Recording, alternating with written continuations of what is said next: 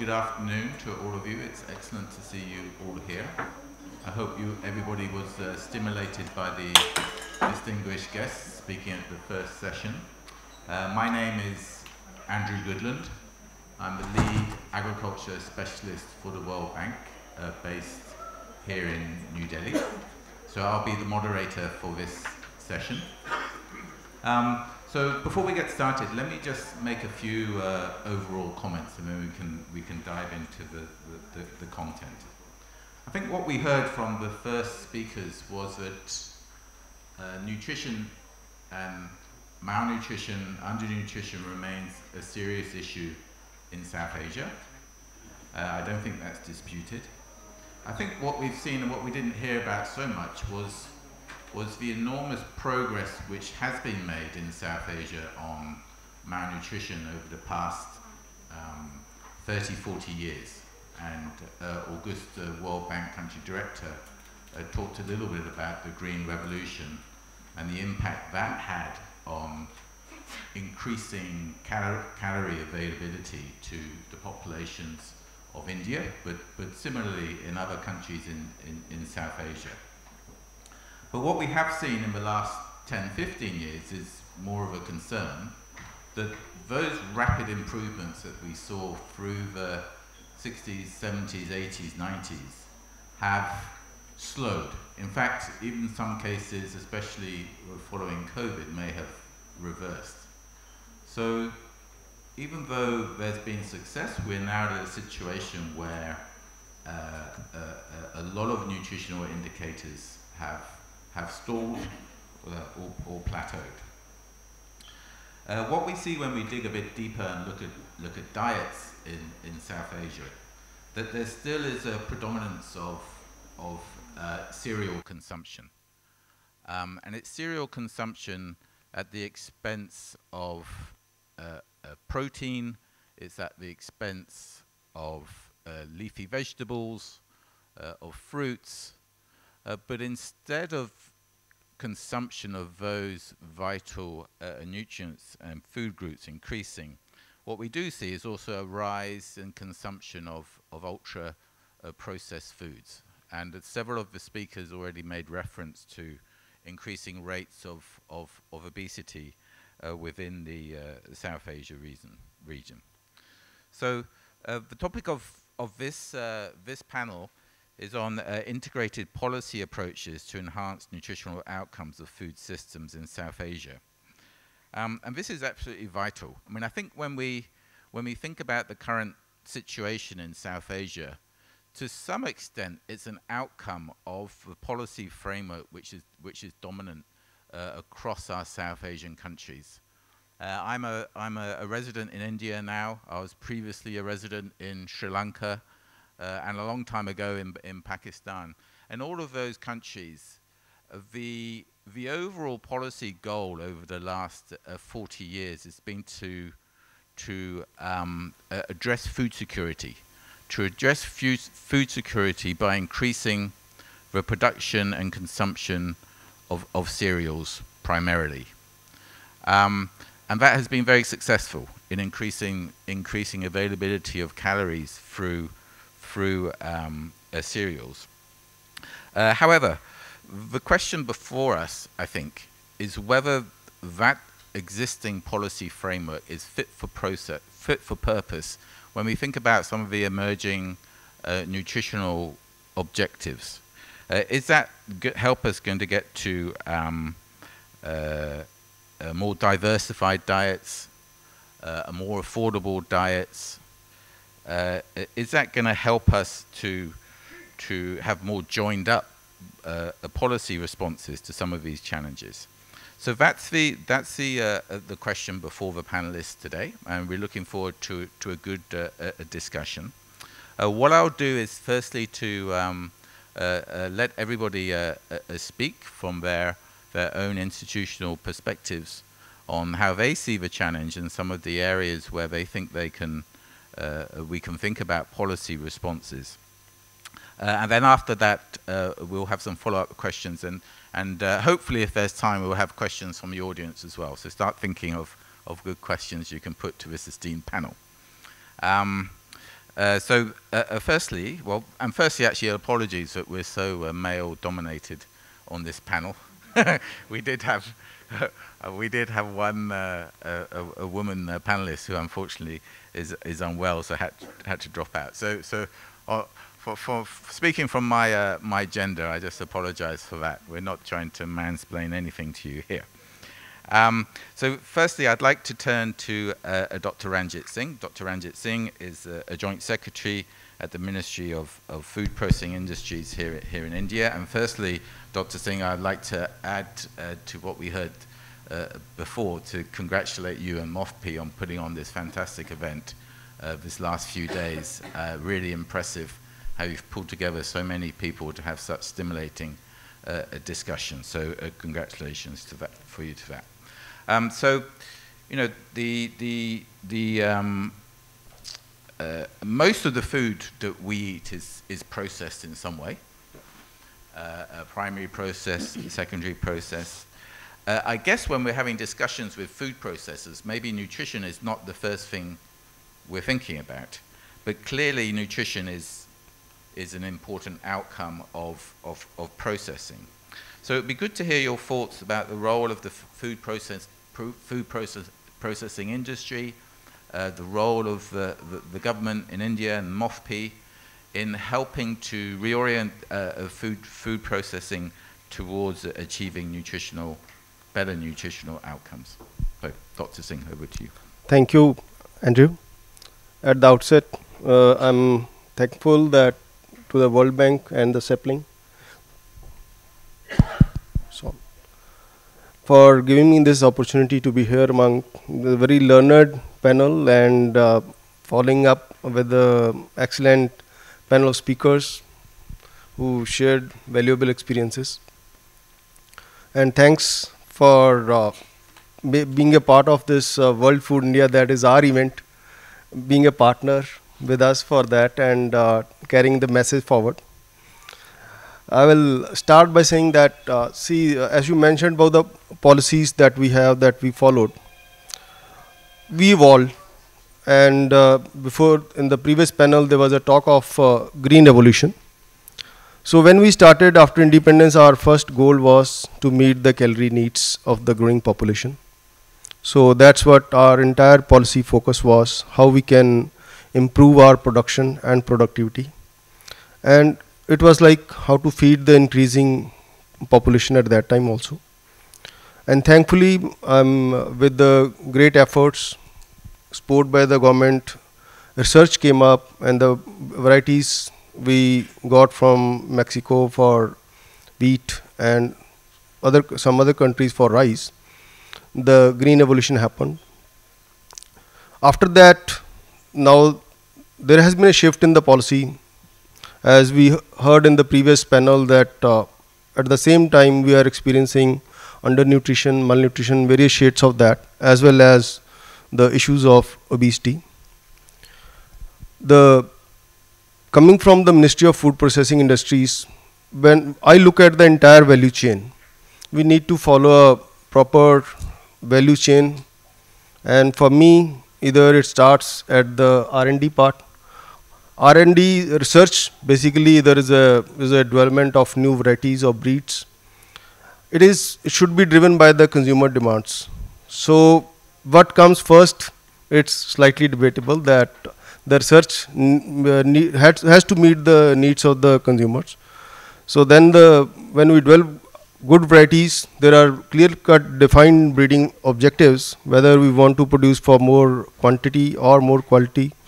Now, thankfully, the our R&D system, biggest uh, R&D system, that is the Indian Council of Agricultural Research and state agricultural uni universities. There is a great focus on breeding for higher qualities, biofortification of new varieties. We have come up with varieties in cereals with the higher iron content, with higher micronutrient contents certain wheat varieties with higher protein content. So that is the initial part where we start. Then the, the growth practices, the growth medium, what is provided. So the varieties need the particular environment, the growth medium. If it is having higher protein content, naturally it will require more nitrogen to be applied, either through fertilizers or through organic manures. then next comes where my ministry comes to play its role, that is the processing, that we come somewhere in middle of the value chain. So as a part of uh, Ministry of Food Processing Industries, as the Secretary herself mentioned, we cater to the entire spectrum of uh, entrepreneurship, starting from the micro level to all the way to the bigger industry level. We have uh, three sets of very dedicated schemes. One is, first is the Prime Minister formalization of micro enterprises, as uh, the joint additional secretary from RD also mentioned about that scheme, we provide supports to the women self-help groups where they can start very at the household level the primary processing activities.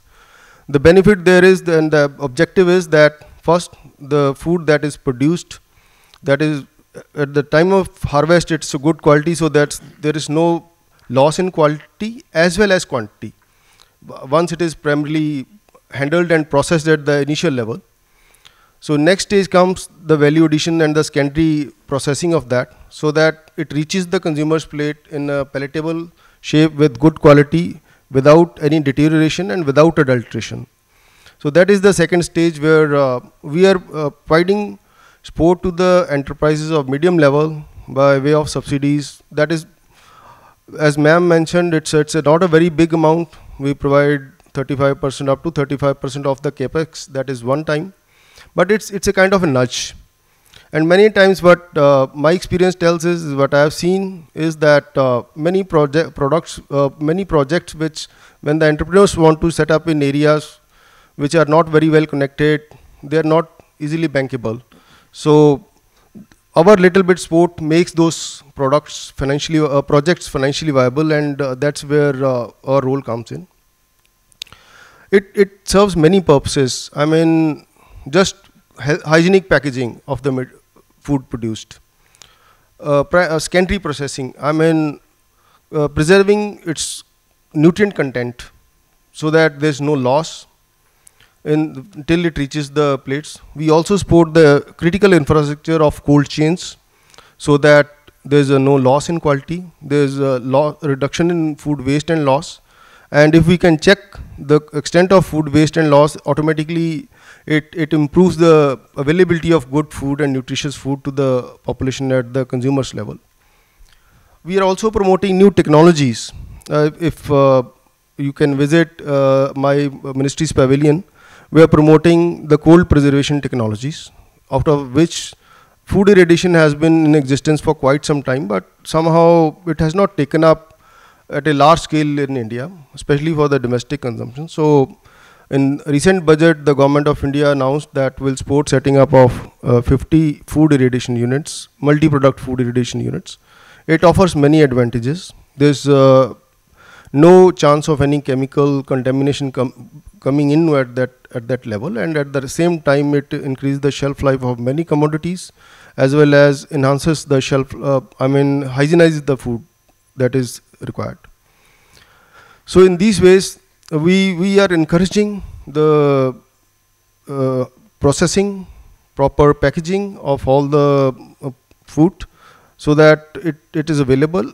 Then another aspect that uh, we, we encourage is uh, we support the R&D into the food processing areas where we support pro pro projects by various institutions, either government or private. They come together with the private industries to bring up to develop technologies where uh, it can be reduction in use of art artificial colors, artificial tasting agents, or or any other uh, technique which which makes the food more hygiene, uh, hyg uh, more hygienic, and reduce the chemical footprint into the food value chain.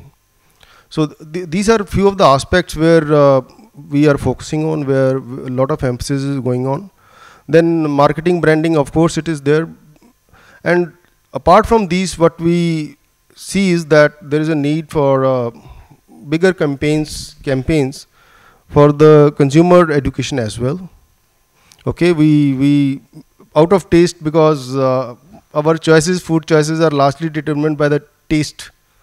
And when we have discussions with many people in the industry, they say, okay, if I don't add so much of sugar, my product will not sell. So that is and then we know that, uh, I mean, there are uh, adverse effects of excess sugars. So it is the consumer choice as well, which determines the industry, which determines the what the industry puts in onto the market. So that that aspect is also very important. We we do work, we do discuss it many times with our sister organizations from the consumer affairs that we need to generate awareness, create awareness on these aspects. So I think I will stop with this, and then we can come back again. Thank you.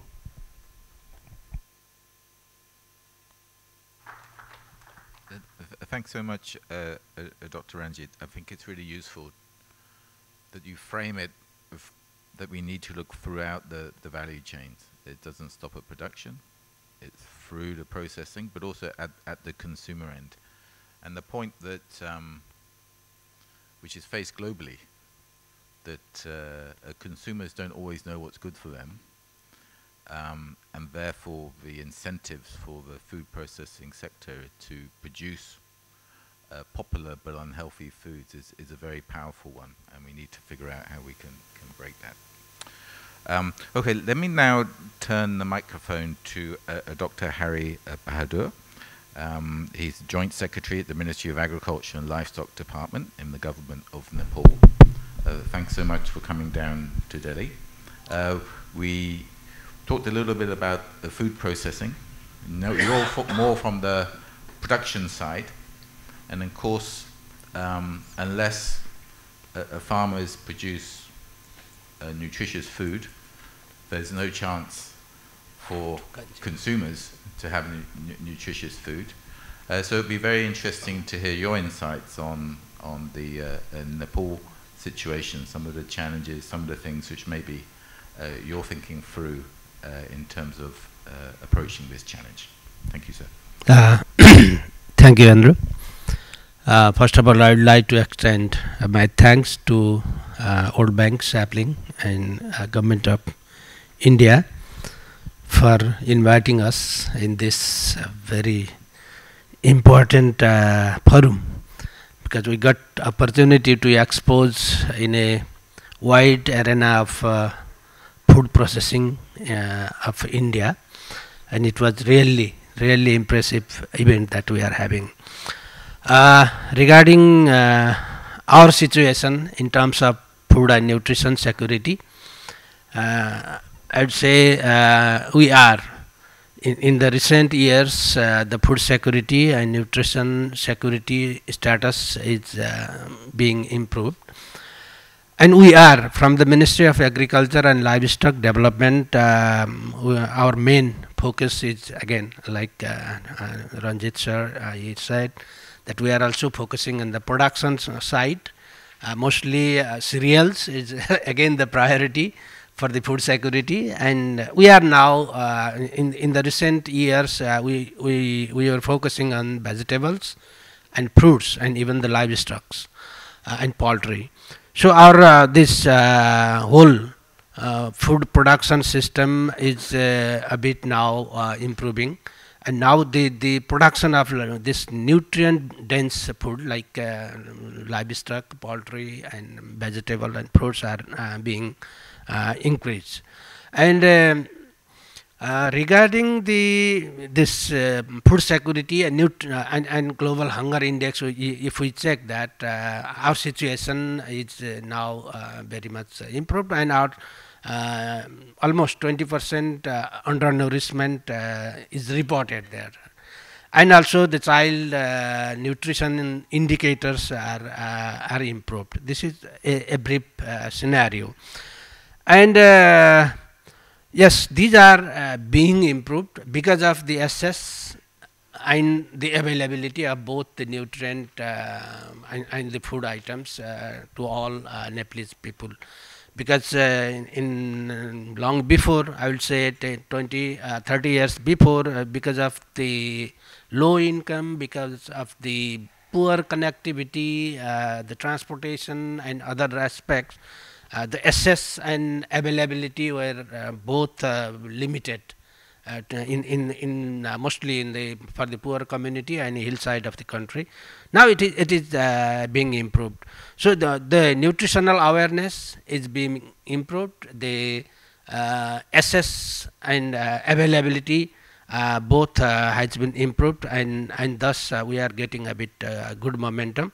and you see, Nepal has considered the food as a um, fundamental right of the people.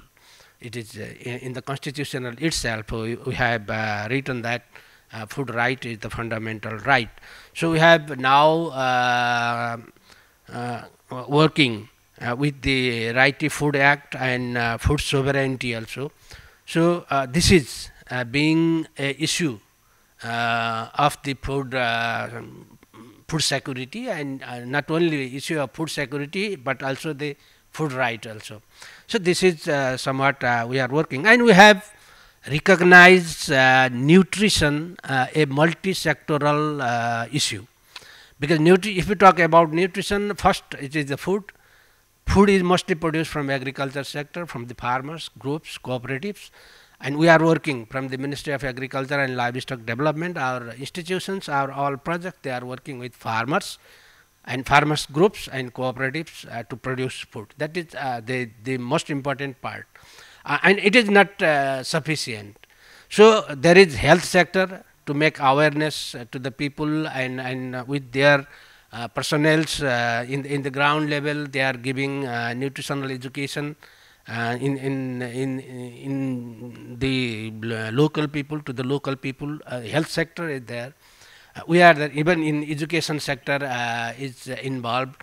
And, and, and like this, the, the supplies is there uh, logistics supply, all, all those uh, are connected in nutrition issues because it is not only the production, it is the access, it is the availability, it is the education, it is the consumer behavior, the, the many of the things are connected. So, it has to be considered as the, the uh, multi-sectoral issue. So, we have this uh, multi-sectoral nutrition plan that we, we had uh, uh, phase 3 is just started. We had two phases already completed, 10 years uh, already completed uh, in the implementation of multi-sectoral nutrition plan.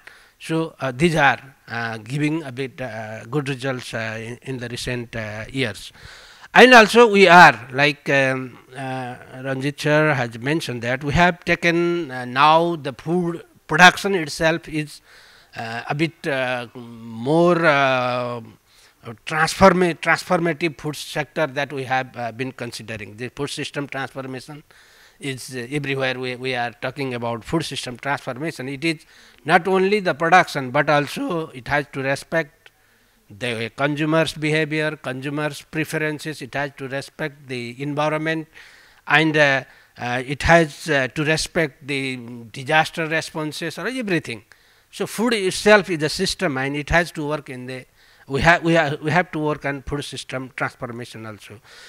And uh, in, in recent years, like uh, in India, because India is pioneering the millets, millets production, millets um, processing, millets trade and everything. So, we, we are also uh, following this, uh, the production and, and the consumption of millet based uh, food products. We are making awareness to the, to the consumers, we are making some campaigns on the production and, and we are supporting farmers for production of millets and other uh, indigenous crops also and also uh, the organic uh, products. In mostly our hill agriculture is almost by default organic and we are promoting those products to, to the urban consumers. So, it is we are doing.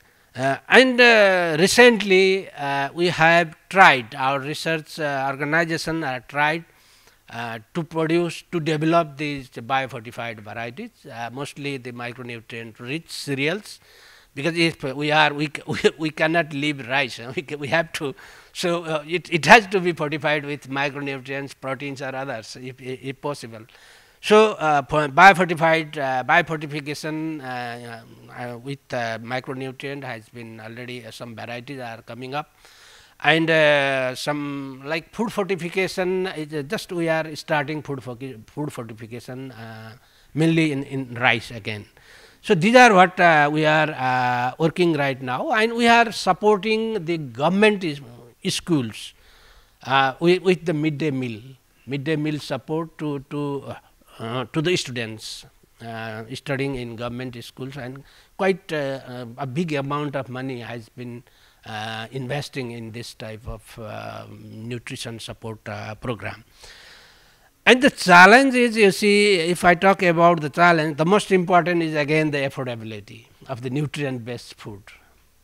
If uh, we have to talk about the price of the cereals and, and, price of the vegetables or livestock, there is always the price of cereals is low. And for the low income people, uh, the poor, the marginalized people, uh, it is the only option that they have to go for. So, uh, the we have to uh, we have, we have uh, this type of challenge that to increase the uh, affordability uh, of the um, farmers of the rural poor uh, that we have to work with and uh, again the cereal centric policy we are trying to change this again we have cereal centric policy like in india or in this whole region we are first we have to we need a food secure situation. So such type of things. And uh, another uh, is again the awareness. And the most important you see uh, if we are changing our diet towards fresh vegetables and fresh fruit there is always the issue of this uh, pesticide and others. In livestock and poultry the um, hormones antibiotics and in fresh vegetables almost, uh, always the issue of uh, pesticide. So this issue we are trying our best to minimize the use of pesticides, uh, we have a lot of integrated pest management programs uh, conducted uh, before.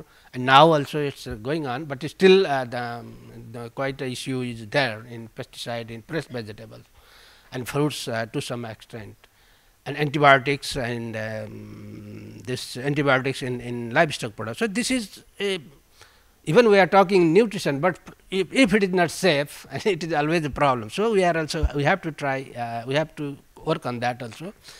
And the very most important in this current time is uh, the use of ultra processed food, mainly by the young uh, consumers, the youths. It is being a very uh, difficult problem to change their uh, feeding behavior towards uh, fresh products or uh, other uh, minimum processed food, primary processed food.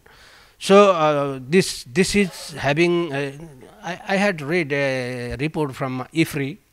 I think it was launched just two, one two months before and uh, we are in the region we are the our youths are the most uh, to to consume this ultra processed food in particularly in the uh, urban areas so, this is a, another challenge that we have to deal with, how to change their behavior towards uh, the uh, primary food and also how to make this ultra processed food uh, not that uh, bad for the health because now we, we, were also talking about that. And the last I think uh, I would say is um, uh, the issue of the climate change that we are facing, the disaster quite often and the people are pushing towards the marginalized people are uh, pushing towards very food unsecure situation and that will push again to cereals or nutrient uh, less other nutrient minimum nutrient food uh, not eating um, vegetable fruits and uh, livestock something like that. So, these are some of the issues and challenges uh, that uh, we are facing uh, not only in Nepal, I think uh, we all are in the region we are facing this type of issues. So, uh, this type of platform maybe uh, we can discuss about this and how can we have the good networking and platform for especially to address the issues of poor people, low income people to have their good nutrition food uh, in the future. Uh, so, uh, the most I will say at last the awareness is the most important, but still nowadays we are thinking we are we are talking about the food literacy because and, and food, in food literacy women uh, farmers are uh, in the target because they are the one uh, to buy the food food items to produce the food item and uh, mostly they are uh, in the kitchen. So, they should be aware uh, of what to eat, how to eat, how to prepare and what not to eat and, and those type of food literacy that we have to work together in the region so that uh, we can have uh, a, a, bit good situation in food and uh, nutrition security. Thank you very much. Thank you. So much, uh, Dr. Bahada. That's uh, an excellent insight into what's happening in, in your country. Um, and a lot of very good things. And uh, I think the rest of the region can learn from some of these approaches. Food is a right, uh, that you have an integrated nutrition plan in the, in the country, uh, and many other of the, the positive examples you gave. Okay, now I'd like to turn uh, to Mr. Pratap Singh Birthal. Uh, he is the director at the National Institute of Agriculture, Economics and Policy Research at the Indian Council for Agriculture Research in the Government of, of India. Um, and Mr. Birthal, uh, we've heard a lot of the challenges around, around nutrition. It's a real, uh, from a policy perspective, it's, it's very uh, a difficult, complex issue. Um, it would be great to hear your insights on, on, on policy, uh, which has an impact on, on nutrition and specifically in, in, in, India, and where you see there are opportunities and challenges of moving forward. Thank you. Please.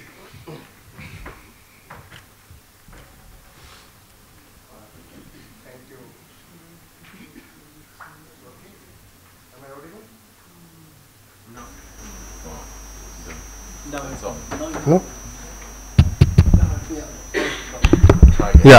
Yeah, it's okay.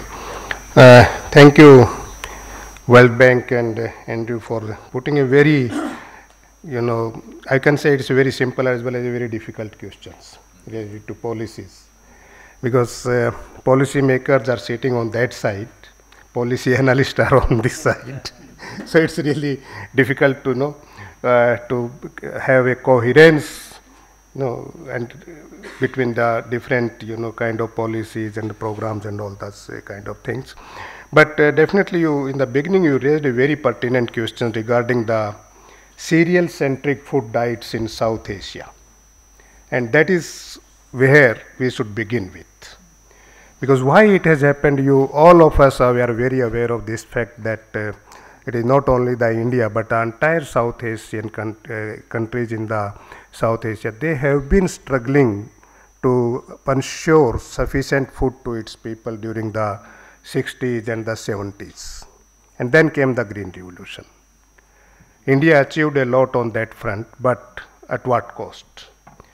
The, and the, one of the simplest reason now what we feel that the agricultural policies that were framed to realize the gains from the green revolution, the high yielding seeds, so they have remained sticky till date. They didn't go any kind of reforms, be it the subsidies on fertilizer or be the minimum support prices.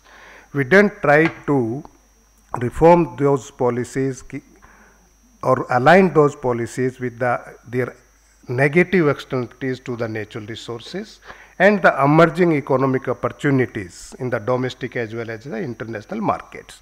And the situation still continues. Now, of course, in, in India, the government is in a paradox. Farmers are asking for the legalization of the minimum support prices. What will be its implications? There's a huge question before the government of India now. Now, if this kind of, you know, uh, pressures on the government uh, keep and the government accepts, so then it will be really a very challenge for the food system transformation or the sustainability of food system in the times to come. Uh, just you, know, there are three or four major challenges, you know, but the entire South Asian region has been experiencing. And what I consider is that's the main challenge, generally we often ignore when we are talking about the food system transformation. The first challenge is the small and fragmenting land holdings. Yeah, throughout the, these countries, in all the countries, the holdings are too small to be provide an adequate livelihood of a farm, farm households. So that is one of the biggest challenge. So how to consolidate those kind of holdings? What kind of modes? Can we go for some kind of cooperative models or develop the, but it is really difficult in the sense, still there is a very excessive employment pressure on agricultural sector. Until unless we de-stress agriculture from the uh, employment pressure, it's really very difficult to go to that kind of options also. The third, what I think is that of course, and these are, of course, the offshoots of the green revolutions. The quantitative and qualitative deterioration in the natural resources, be it the land or water. Now, if you see in particularly the green revolution, this northern region in India, Punjab and Haryana, they fed the entire country, but at what costs? You see, the groundwater has depleted like anything, and this, this trend continues. And this has been spotted by the policies. If this trend continues, maybe in another 20, 25 years, this region may become a desert rather than a food that. Anyway, on the nutritional outcomes, I think uh, there has been a lot of improvements in the nutritional outcomes, uh, almost throughout the South Asia over the past three decades. But what we observed is that in the recent decades or the recent years, uh, this kind of you know positive trends, either they have slowed down or even plateaued or even reversed in some cases. I, am citing some example from India. Now, see for example, incidence of anemia and obesity in India, it has increased like anything in the years to come. So, hence now what we are doing, we are feeling a triple burden of uh, undernutrition or malnutrition, microdeficiencies, obesity and uh, communicable diseases the people are suffering. Now, again, when we are talking about the food system transformation and nutritional outcomes, for me there is a puzzle, particularly in the context of India. Now, still India ranks very high in nutritional indicators. But despite the fact that there has been a significant increase in food supplies, be it cereals, be it the milk or fruits and vegetables, their per capita availability is also much more than the required norms. That means there is something wrong, either on the production, wrong in the data, either on the production side or on the demand side. So we have to reconcile. We have to develop mechanisms for capturing adequate data from on the both the sides. This is uh, the thing uh, that I would like to. Now ultimately, of course, that uh, these uh, solutions for this lie in the food system and when we talk about the food system, it is from gene to gen, uh, end consumption. When I say the gene means basically the research. So these uh, th things are there. I will not going to talk on that uh, food processing and all that. My colleague has already spoken that.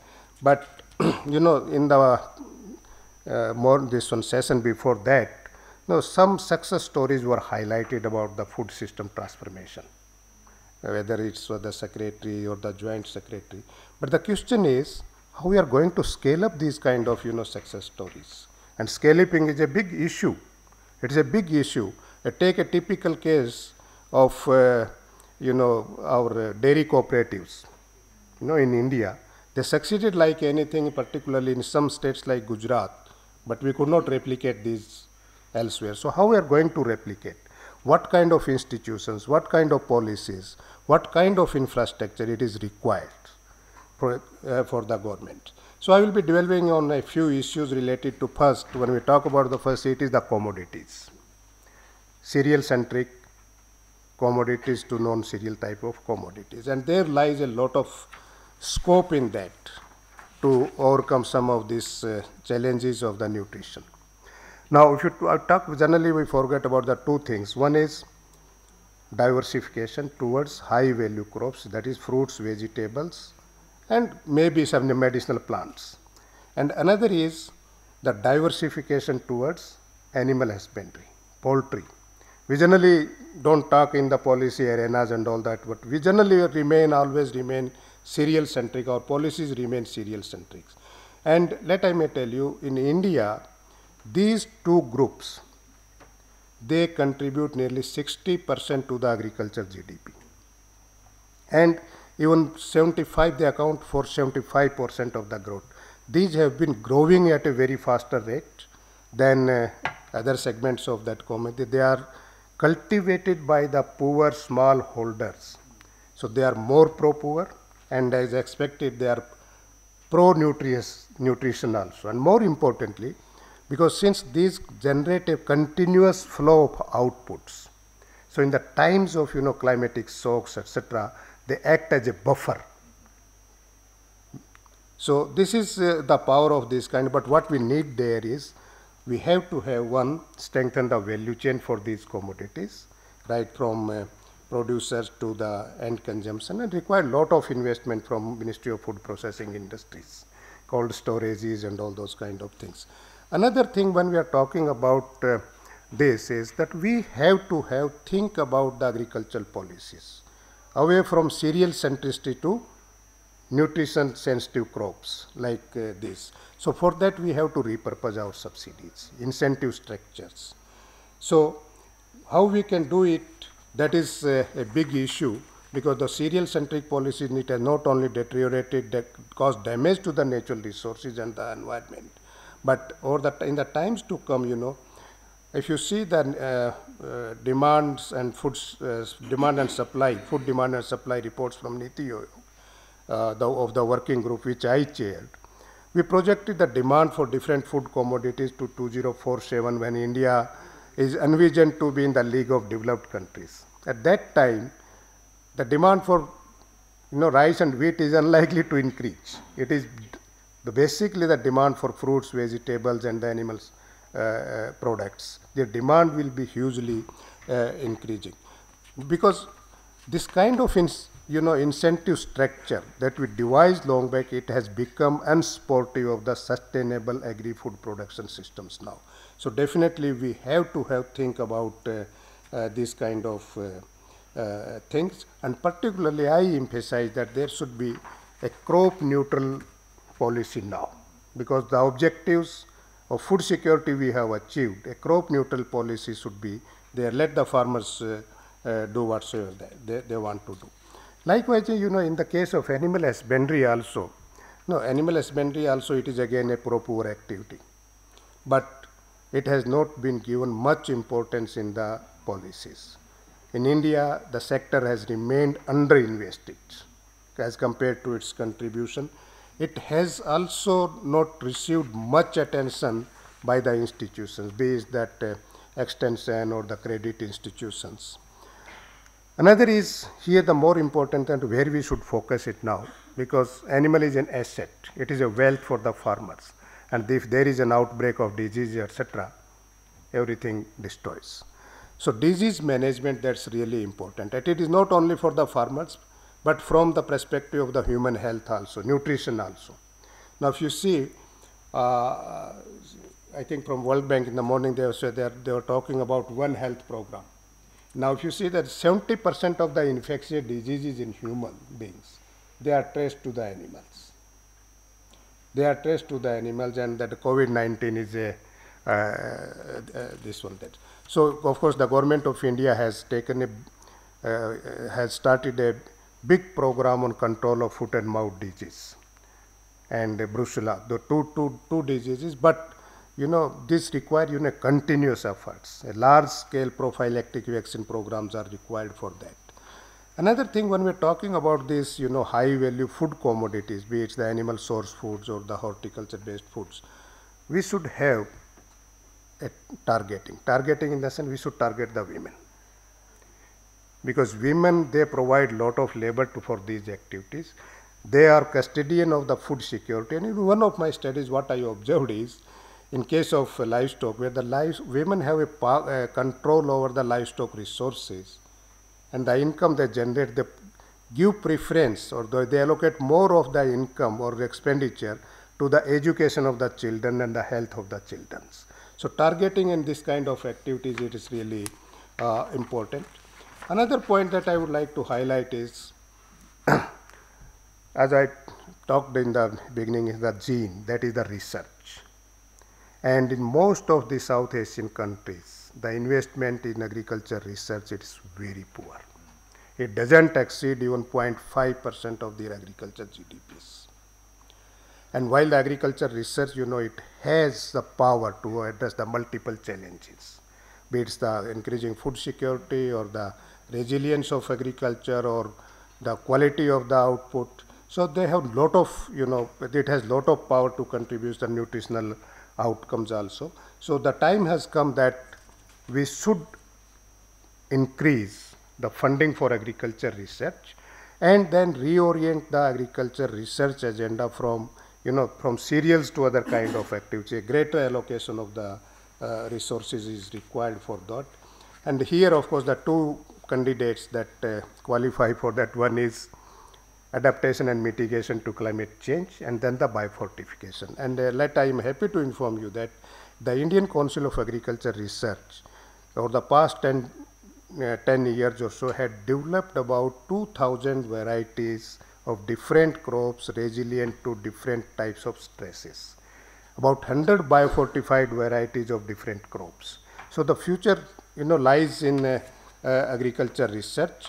And what I always say, that today's investment in R&D will save future trajectory of agricultural growth and its economic, social and environmental outcomes. If you ignore agriculture resource, that means you are ignoring the food and nutrition security of the country. And your India's Green Revolution too, it will be based on these two pillars, that is climate resilience and this uh, biofortification. That is the need of the time.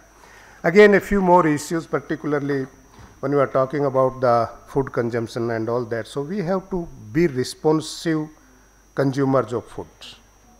That is really very important so for that, of course, that education to encourage healthy diet habits, and particularly where there was something or talked about the ultra processed foods. Now, let me tell you this consumption of ultra processed foods. It's in India, of course, I don't know about other South. It is increasing like anything. Thus expenditure of this ultra processed food, uh, including the food away from home, it has increased from about 5 7% in 2004 to 24% now. So this is again a very unhealthy trend. So we have to have you know some kind of you know education or awareness program among the people, and of course uh, there is uh, can we go for higher very high level of taxation of this kind of things or can we subsidize the healthy foods? These uh, policy decisions have to be uh, taken on that. But importantly, and uh, I think it's the final points of mine, India operates, you know, a big uh, public distribution system, basically based on rice and wheat. Why not we include pulses, millets, and other commodities also in uh, the public distribution system? And then, of course, uh, it is the improving the synergy, as you have already indicated, one intersectoral synergy or the coordination among the because now policies, food processing ministry is evolving its own policy framework, agriculture ministry is evolving its own framework. Ministry of Rural Development is, but there is a very little coordination among them. And if there is a lack of coordination, these policies may not yield the desired outcomes. So that for that we require, you know, we have to ensure a coordination and synergy between different uh, uh, kind of policies, be it related to agriculture, food processing, environment, or even the health. And these policies, you know, what is happening is that, of course, I am sitting in the ministry, so I propose, okay, we should do that. Let's involve the stakeholders. Who are our stakeholders? It should be a broad consultation based kind of, you know, uh, policy framework there. So there is. Finally, uh, because uh, on food system transformation alone, you know, it is, it is of course a necessary but not a sufficient condition for better nutritional. Now it is, you know, the environment that govern the food consumption or the food systems.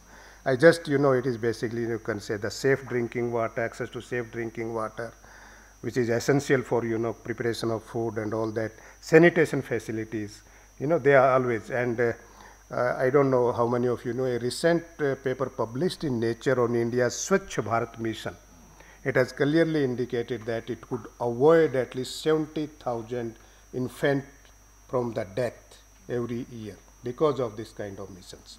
So thank you very much.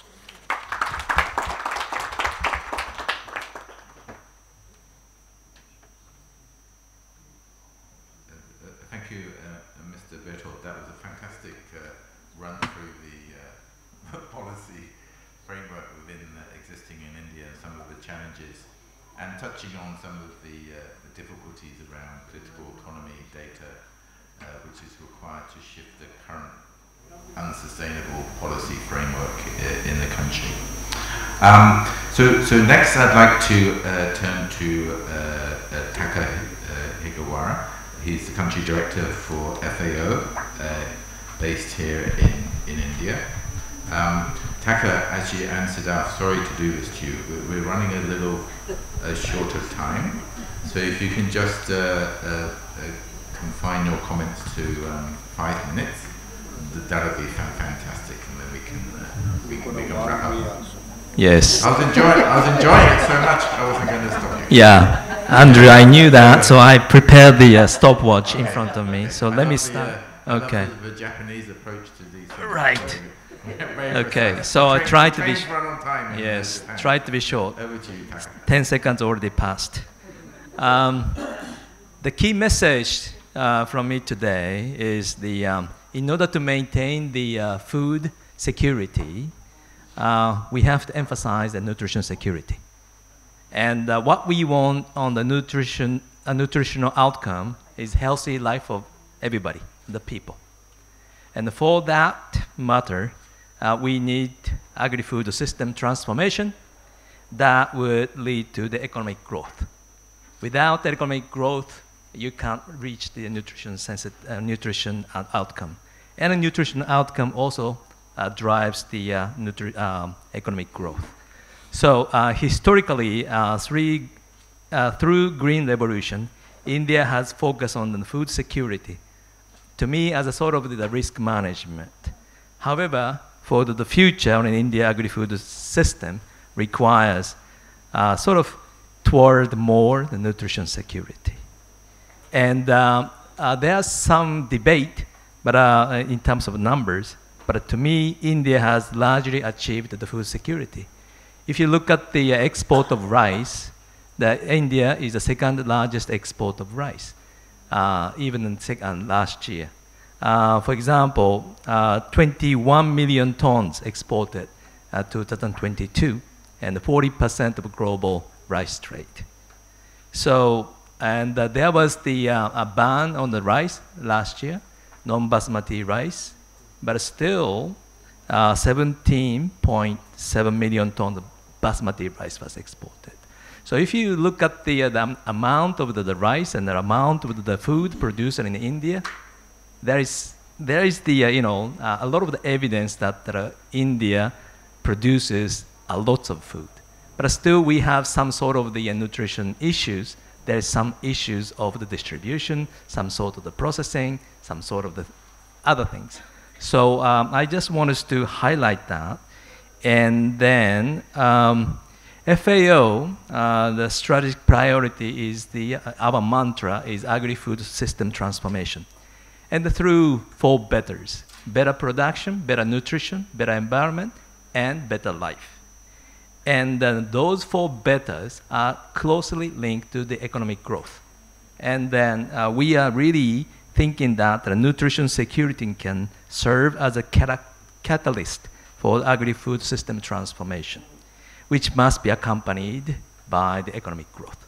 So uh, we want to highlight economic growth is very important, the key, key uh, uh, factors of the nutrition uh, outcomes.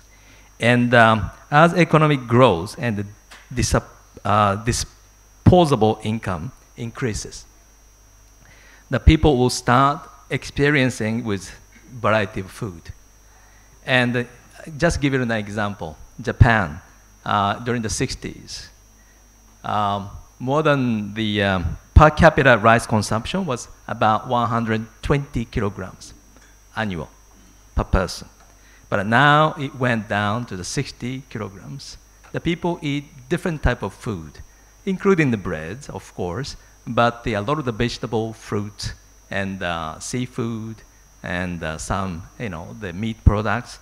So that India, on the other hand, in the 60s, the per capita consumption was 60 kilograms. Now it's more than 100 kilograms per person. So you know the um, when I look at the my staff in the, my office, I started to feeling that the people have a little bit stomach, bigger stomach. and when I see the, what they eat during the lunchtime, they eat rice with rice with a little bit the uh, dal. So I said, you know, why don't you diversify your diet by bringing in more vegetables and all of that? But they said, oh, my stomach doesn't digest in the, uh, you know, the salad and uh, raw, uh, you know, leafy vegetables. So uh, some way, the, uh, um, I've learned that I've been here in India about one year. The uh, Indian people are a bit conservative in terms of the food consumption. And uh, I know that there are many of them vegetarian. So very, very careful what they eat. And, uh, but at the same time, I see that many, many people start eating junk food, a lot of the soft drinks, and uh, you know, lots of sugar-based the food. So I think the, uh, that sort of the, the, food culture has to be highlighted. This is where the, the policy uh, need uh, play a bigger role. And last year, as you remember, uh, government of India promoted millet, and it was great success. And uh, you know, with the uh, such policy, can create sort of awareness of awareness raising, and then people can start eating more millet, and that will continue. So that is the uh, sort of the, the, policy issue that I would like to highlight. Um, another, do I have still? I st no, it's past the uh, six, five minutes. Uh, another, let me just highlight one more thing. Um, the government is now focusing on the also the um, um, you know white revolution, which is milk, dairy product, and also the blue revolution, focusing on the uh, aquaculture. And so the government is uh, investing a lot in the different area of the, the food. And uh, let me see where uh, what I want to say. Okay. Um, yes. You know, the uh, uh, food, agri-food system transformation require more uh, investment, both from consumers and then the government, not just by the, the farmers. And then the farmers are receiving very, very minimum amount of the, uh, you know, uh, money after producing the, uh, you know, the rice and then also the lots of food. So um, I think that this is something uh, we need to uh, revisit and how we can uh, increase the yield, but at the same time the income, what they receive, of course, and the government provide the support minimum, minimum support price, but I think that we need to revisit the uh, sort of the prices, and then unfortunately, consumer may have to pay more uh, for the, the uh, for the for the food that we we eat. And finally, I just give you a couple of the, figures. You know that uh, India has 1.4 billion people, and then government and then this country provided the free grain for 800 million people. If you look at the entire Europe, including the western part of Russia and the western part of Turkey, total population is just 700 million. So 800 million, the government is providing the free food, free you know, grains. It's a big, big achievement. And uh, we really need to emphasize that. And then uh, India, the size of the land is half of the Australia. And about 50% of the land is for the agriculture. And then about the half of the arable land or sowing land is under irrigation. But irrigation, majority of the irrigation coming from underground water. Okay, so the, uh, the future, as the, uh, the professor said, uh, we have the issue of the natural resource basis. So we need to uh, really address in the policy and the World Bank and FAO and all other international agencies we address in the climate change and natural resource uh, management. So let me finish with that. Thank you, Taka, there's some very thought-provoking comparisons there. I'm amazed at what you per capita consumption of rice in Japan today is the same as it was in India in, in the 1960s. And I think that the fact that it's increased so much in, in, in India and across South Asia is due to these, um, how you call it, cereal-centric uh, uh, uh policies, and we need to move away from that. Um, uh, okay, so let's move to our, our final uh, uh panelist, um, Mr. Siddharth uh, Chaturvedi. He's a senior program officer at the Gates Foundation here in India, and um, and, and also it's the Gates Foundation who is uh, supporting uh, Sapling. Uh, so we're very grateful to Gates. It's clearly nutrition and food systems are clearly a big priority for um, uh, Gates Foundation, and you recognise the importance of a regional platform, which is uh, fantastic. That's why we're here. Uh, so some some thoughts from you, Siddharth? Uh, yeah, thanks, and I'll try to stick to five minutes or lesser. So, um, I think the challenges are well understood. Uh, the solutions are also there. What's important is uh, why we envisioned Sapling earlier and now, obviously, with the bank, is to say that while there are so many solutions and so many issues out there, who makes sense of it all? What's what's the actionable? So, if I have to break it down, there are three kind of broad pieces that Sapling will be working on. The first part is sense making, that there are solutions, there are issues across the region, but then how do the country solutions add up to a region, and how does a regional approach land in the country? So that's the first part of sense making, and that would only come when we are targeting certain subsectors and certain policy makers or decision makers. So the first part of sense making through targeted solutions and targeted communication. The second piece is that once you communicate, what's the call to action? So we are very clear that we don't want to solve for everything. So if if a policy brief or a recommendation coming from Sapling doesn't solve for what uh, Dr. Ranjit is trying to do or Dr. Bahadur is trying to do in his country, it doesn't land anywhere. The beauty of Sapling currently is that it's advocacy, but it is led from a practitioner standpoint and not purely it's a balance between research and practitioner, but it is largely led from a practitioner standpoint. And that's why the point of contacts in individual countries of the World Bank are so important. This action is not just a recommendation based action, but we hope that it will also lead to some sort of financing both from the government and from the stakeholders towards the, these solutions. So, as uh, Birthal sir also said, that th there are a lot of recommendations, but okay, what is important to me and when we talk of the subsectors, we are talking in terms of, you know, uh, as Brem said in, in, in the morning, that uh, we are talking about post harvest losses, climate smart agriculture, and food safety. But what does that really mean? Because climate smart agriculture or climate adaptation is, is supposed to be locally led. So we have to see how it lands, and that's where again the sense making happens. And all this effort has to be collaborative in nature.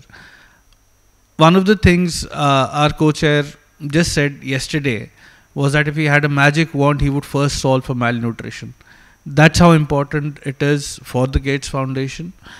And the way Sapling is proceeding is a lot of there's a lot of churning that's happening internally with the stakeholders in trying to understand what does the sector really need when we say the, a food system lens is required. Because it's it's a lot of things it could be everything but then what Sapling's role? And that's that's the churning that the bank team is doing currently not internally but also with the stakeholders. This is one of those forums. It's not a straight path. And what we feel is that it Sapling has to solve towards a purpose along with the existing institutions like BIMSTEC, like SAARC, and the other bilateral engagements that the countries are already having. So, as I said, it's not a straight path. So, just to quote Douglas Adams, he said, "I'm, I may not have gone where I wanted to wanted to go, but I've essentially ended where I needed to be."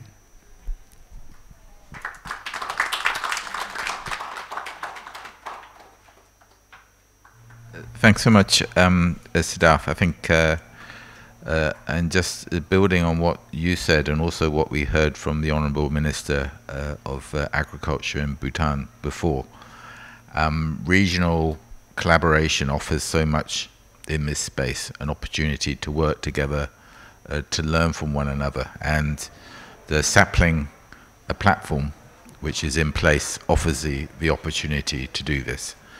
Um, but it's not going to be straightforward, and I hope that we have now champions in this room and on this panel who can help to take that forward.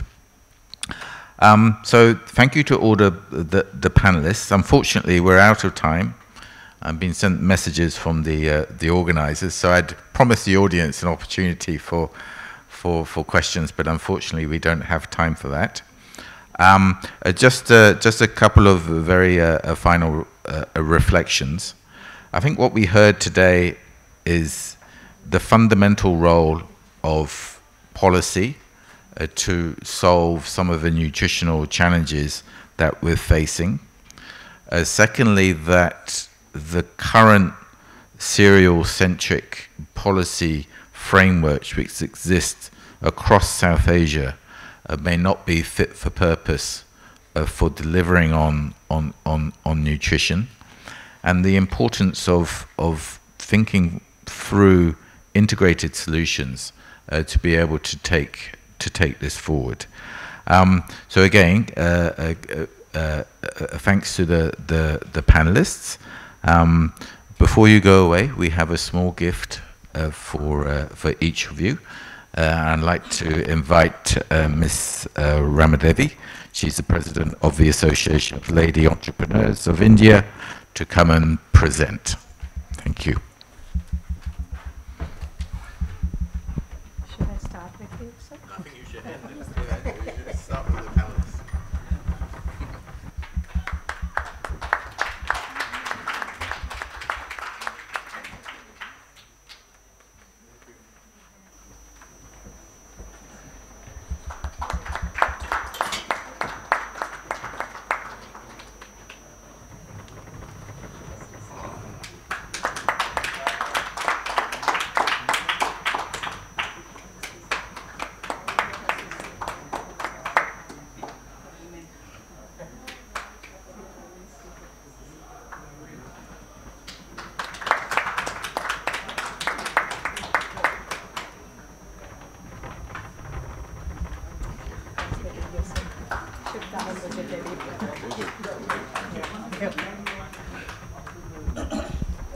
Okay, thank you all. Uh, let's uh, call the next uh, uh panel on to stage, please.